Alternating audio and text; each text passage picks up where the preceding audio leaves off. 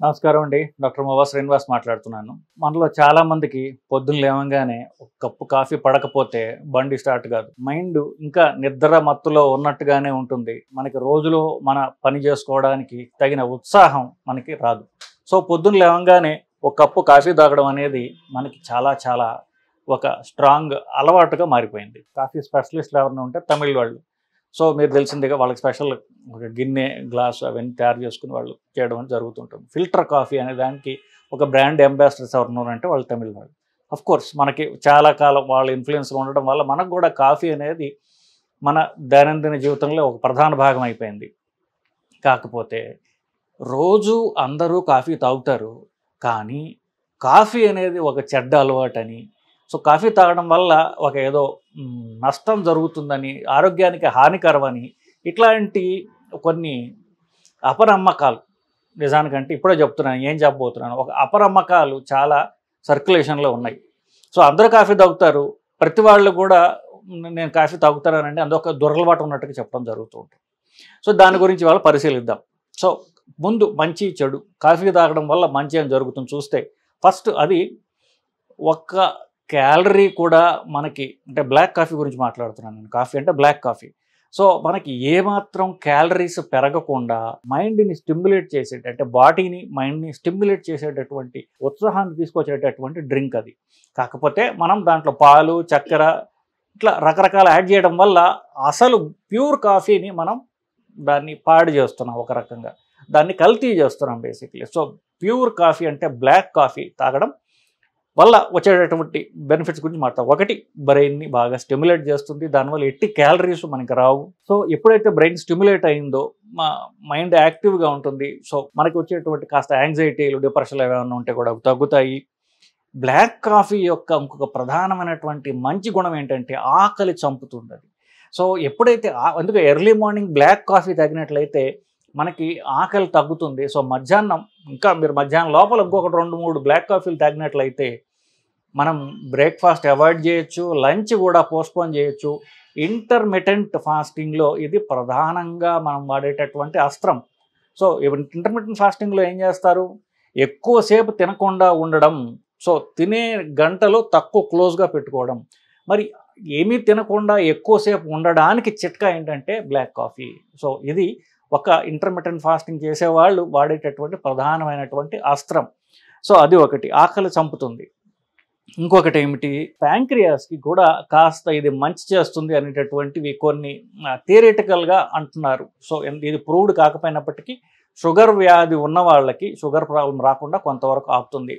దానికి ఇండైరెక్ట్గా మనం చెప్పాం కదా ఆకలి చంపడం ద్వారా తిండి తక్కువ తింటాం. తిండి లేకపోతే షుగర్ ఎక్కడి నుంచి వస్తుంది? అది రాదు. లాస్ట్గా ఇది కాస్త పెయిన్ టాలరెన్స్ని పెంచుతుంది. అంటే ఫర్ ఎగ్జాంపుల్ ఎక్కడ ఉపయోగపడుతుందంటే బాగా ఎక్కువ దూరం పరిగెత్తేవాళ్ళు ఫుల్ మ్యారథాన్ అంటే నలభై రెండు కిలోమీటర్లు పరిగెత్తడాన్ని ఫుల్ మ్యారథాన్ అంటారు. ఈ మ్యారథాన్ చేసేటప్పుడు మనకి ముప్పై దాకా బాగానే ఉంటుంది. ఆ తర్వాత విపరీతం కాళ్ళు నొప్పులు నీరసం ఇవన్నీ వస్తూ ఉంటాయి. అప్పుడు వాళ్ళ శరీరంలో ఉన్నటువంటి ఎనర్జీ అంతా వాళ్ళు వాడేశారు. ముప్పై కిలోమీటర్ల దగ్గర అయిపోతుంది. దాంతో ఏమంటారంటే హీట్ వాల్ అంటారు. అంటే మొత్తం శరీరంలో ఉన్నంత ఎనర్జీ అంతా వాడేసాం ఇంకా పన్నెండు కిలోమీటర్లు పరిగెత్తాలి. అప్పుడు వాళ్ళకి బాగా పనికొచ్చేటటువంటివి కొన్ని జెల్ అంటారు. జెల్ అంటే జెల్ లాగా ఉంటుంది అది. ఆ దాంట్లో ఎనర్జీ వచ్చేటటువంటి చాక్లెట్ లాంటిది ఉంటుంది. దాంట్లో ప్రధానంగా ఉండేది కెఫీన్. కెఫీన్ అంటే కాఫీలో ఉండేది. దానివల్ల ఏమవుతుంది? నొప్పి తగ్గుతుంది బుర్ర యాక్టివ్ అవుతుంది ఎనర్జీ వస్తుంది. వాళ్ళకు పన్నెండు కిలోమీటర్లు కొట్టేయగలరు. సో ఎవరైతే ఈ ఎక్సర్సైజ్ ఎక్కువ చేస్తారో జిమ్లో ఎక్కువ చేస్తారో జిమ్లో చేస్తే నెక్స్ట్ రోజు అంతా విపరీతమైనటువంటి కండరాల నొప్పులు ఉంటాయి. దాన్ని ఏమంటారు? డిఓఎంఎస్ అంటారు. Delay onset muscle soreness. అంటే ఇవాళ ఎక్సర్సైజ్ చేస్తే మంచి ఎనర్జీ ఉంటుంది మీకు ఉత్సాహంగా ఉండి ఇవాళ ఓ ఎక్కువ చేసేస్తారు. నెక్స్ట్ రోజు మొదలవుతుంది అసలు నొప్పులు. వాటిని ట్రీట్ చేయడానికి కెఫీన్ వాడతారు. ఎక్కువ దూరం పరిగెత్తే వాళ్ళకైనా ఒళ్ళు నొప్పులు కండరాల నొప్పులు తగ్గడానికి కెఫీన్ వాడతారు. ఇది మంచి చెడు అంటూ ఉంటే నిజానికి పాపం చాలా తక్కువ అండి ఇది కఫీన్ బాగా అలవాటు ఉన్న వాళ్ళకి మొదట అలవాటైన ఇనీషియల్ కొద్ది రోజుల్లో కాస్త హార్ట్ రేట్ పెరుగుతుంది బీపీ పెరుగుతుంది. ఇన్- ఇది ఒక్కటే మెయిన్ ప్రాబ్లం. అంత తప్ప ప్రెగ్నెంట్ ఉమెన్ బ్లాక్ కాఫీ తాగకుండా ఉంటే బెటర్. ఎందుకంటే అది కాస్త బిడ్డకు వెళ్ళేటటువంటి అవకాశం ఉంది. సో గర్భవతులు దీన్ని కాస్త అవాయిడ్ చేస్తే మంచిది. సో రెండు నేను మొదట ఒక ప్రాబ్లం చెప్పాను. మూడవది నిజం చెప్పాలంటే కాస్త అలవాటు అయ్యేటటువంటి గుణం ఉన్నది ఇది. అది సీరియస్ అడిక్టివ్ కెపాసిటీ ఉన్నటువంటిది కాదు. అంటే ఇది తీవ్రంగా అలవాటు అయిపోతుంది కాఫీ లేకపోతే ఉండలేము అనేది ఉండదు. మీరు ఉండాల్సిందల్లా మూడు రోజులు మాత్రమే. ఇప్పుడు ఇంకో చోటకి వెళ్ళారు కాఫీ దొరకట్లేదు. అలా నేను ఉన్నప్పుడు మూడు రోజులు కనుక మీరు కాఫీ లేకుండా ఉండగలిగితే నాలుగో రోజు నుంచి మీరు కాఫీ లేకుండా హ్యాపీగా ఉండగలరు. సో ఇది సీరియస్గా అలవాటు అయ్యేటటువంటిది అడిక్టివ్ కెపాసిటీ ఉందైతే కాదు. అఫ్ కోర్స్ కాఫీ తాగుతుంటే బాగుంటుంది కాబట్టి అది ఎప్పుడు తాగేటట్టు తాగుదా అనిపిస్తుంది. కాఫీ స్ట్రాంగ్ కాఫీ తాగే వాళ్ళకి ఒకరోజు తలనొప్పి రావడం కూడా జరుగుతుంది. ఇది మనం ఆర్గ్యూ చేయనటువంటి అందరికీ ఎక్స్పీరియన్స్డే కాకపోతే అది సీరియస్గా డిపెండెన్సీ ఉన్నటువంటి సబ్స్టెన్స్ అయితే కాదు. సో చెడు తక్కువ మంచి ఎక్కువ ఉన్నటువంటి సబ్స్టెన్స్ ఇది. సో దీన్ని నిస్సంకోచంగా అందరూ తాగొచ్చు. కాకపోతే నేను చెప్పినట్టుగా బ్లాక్ కాఫీలో పాలు పోసి నా పర్వాలేదు. కానీ చక్కెర వేయడం వల్ల దాని మంచి అంతా మనం పాడు చేస్తున్నాం. సో చక్కెర లేకుండా తాగితే చాలా మంచిది. పాలు లేకుండా తాగితే ఇంకా ఇంకా మంచిది. అది డికాషన్ చేదుగా ఉంటుందయా మీరు చెప్తున్నారు. మరి తాగడం కష్టం కదా అంటే నేను చిట్కా కనిపెట్టాను దానికి. ఇప్పుడు గ్రాన్యులేటెడ్ కాఫీ అంటే ఏమిటి? నెస్కఫే సన్ రైజ్ ఇదేంటి? ఇన్స్టెంట్ కాఫీ అంటారు. గ్రాన్యులేటెడ్ కాఫీ అంటారు. ఇన్స్టెంట్ కాఫీ అయితే అది అర చెంచా మీరు వేసుకుని ఒక పెద్ద క్లబ్ కప్పులో వేసుకుని మిగతా అంతా నీళ్ళతో నింపినట్లయితే అది మీరు చక్కగా తాగగలరు. అఫ్ కోర్స్ ఈ రోజుల్లో ఫ్లేవర్డ్ కాఫీ అని వస్తుంది. ఇదే గ్రాన్యులేటెడ్ కాఫీ ఇన్స్టెంట్ కాఫీలోనే రకరకాల రుచులు ఉన్నవి వాసనలు ఉన్నవి. వెనీలా అని రకరకాల ఫ్రూట్ టేస్టెడ్ రకరకాలు మీకు అమెజాన్లో దొరుకుతున్నాయి తెప్పించుకొని తాగొచ్చు. వెనీలా కాఫీ అంటే నాకు చాలా ఇష్టం.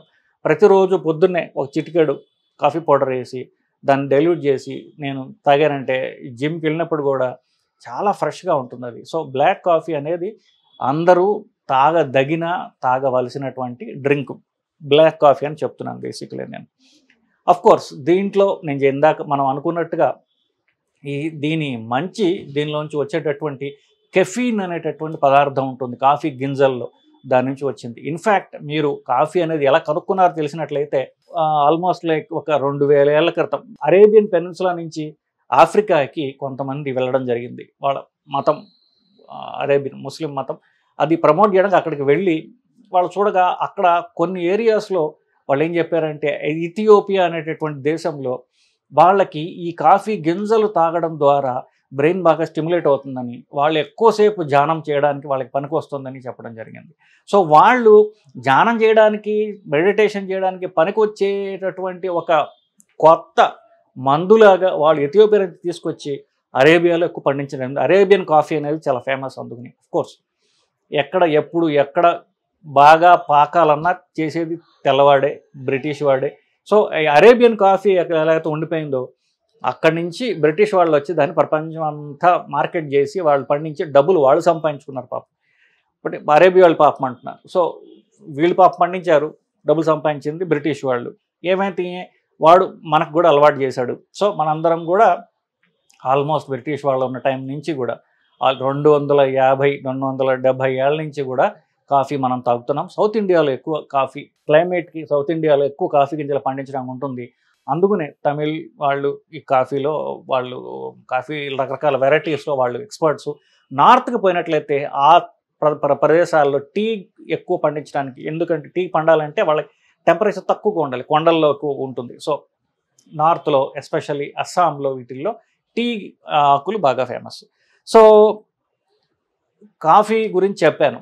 కానీ మనం తాగే కాఫీ ప్యూర్ కాఫీ కాదు. మనం తాగే కాఫీలో చికరీ అనేటటువంటి ఒక పదార్థాన్ని యాడ్ చేస్తారు. ఎనభై శాతం కాఫీ ఉంటే ఇరవై శాతం చికరీ యాడ్ చేస్తారు. దానివల్ల చికరీ ఏంటంటే ఆ స్ట్రెంగ్త్ తగ్గిస్తుంది. డార్క్గా స్ట్రాంగ్గా ఉండే కాఫీలో చికరీ యాడ్ చేయడం వల్ల అది కొంచెం సాఫ్ట్ అవుతుంది. టేస్ట్ ఇంప్రూవ్ అవుతుంది. తాగడానికి కాస్త బెటర్గా ఉంటుంది. బట్ ప్లెయిన్ కాఫీ లవర్స్కి చక్కెర లేనటువంటి ప్యూర్ కాఫీ తాగితే వాళ్ళకి ఆ యాక్చువల్ టేస్ట్ వస్తుంది. కానీ ఈ చక్కెర అనేది ఇరవై శాతం ముప్పై శాతం నలభై శాతం రకరకాల మిశ్రమాల్లో కాఫీతో కలప కలపబడి అందరికీ బయటికి అమ్మడం జరుగుతుంది.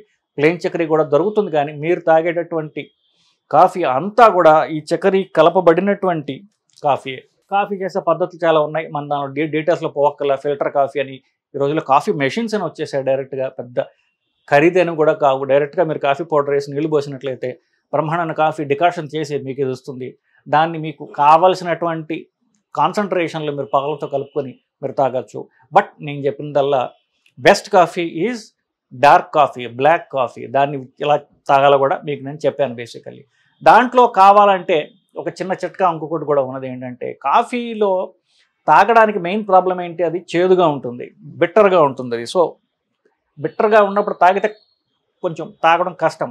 అప్పుడు షుగర్ వేసుకునే కంటే కూడా చిటికేడు ఉప్పు వేసుకుంటే అది ఆ కాఫీలో ఉన్నటువంటి చేదుని పోగొడుతుంది అది తాగడానికి మీకు ఇంకా ఈజీగా ఉంటుంది. జస్ట్ కొంచెం చిన్న చిటికెడు ఉప్పు వేసుకుని కాఫీలో కలుపుకొని తాగండి.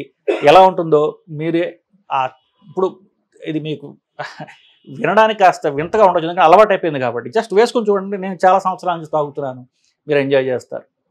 ఇకపోతే లాస్ట్ది ఏంటంటే మనం కొంచెం మాట్లాడాల్సింది బుల్లెట్ ప్రూఫ్ కాఫీ అని ఒకటి ఉంది. బుల్లెట్ ప్రూఫ్ కాఫీ అంటే బ్లాక్ కాఫీలో ఆయిల్ కలపడం. అంటే ఆయిల్ అండ్ కొబ్బరి నూనె వేయచ్చు నెయ్యి లేదా వెన్న ఇట్లాంటివి వేసి సేమ్ కాఫీ మిశ్రమాలు కలుపుకొని తాగుతుంటారు చాలామంది. దానివల్ల ఏమవుతుంది? ఎనర్జీ కూడా వస్తుంది. కాఫీ తాగితే ఇనీషియల్గా హై వస్తుంది. కాసేపు ఉన్నాక తగ్గిపోతుంది. ఎందుకు? కాఫీలో క్యాలరీస్ ఉండవు కాబట్టి.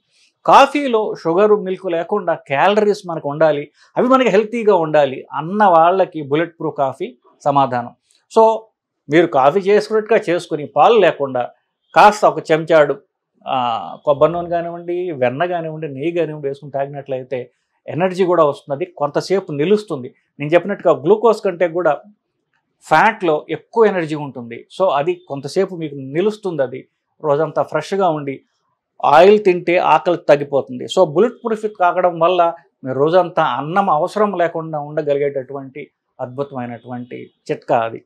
సో ఇదండి కాఫీ గురించి. సో కాఫీ చెడ్డది అని ఎవరన్నా చెప్తే అది మీరు నమ్మకండి. కాఫీలో మనకి మంచి చేసేవి మనకి పనికొచ్చేవి చాలా గుణాలు ఉన్నాయండి నమస్కారం.